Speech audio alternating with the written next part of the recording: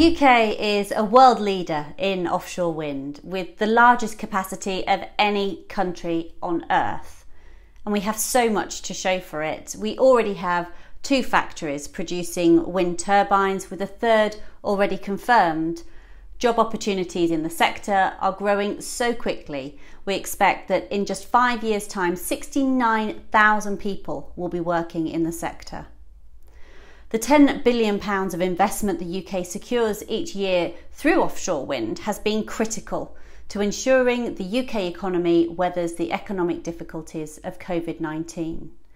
And with prices now as low as £40 per megawatt hour, we're using offshore wind development as a way of lowering energy bills for people in Britain and making our economy more competitive.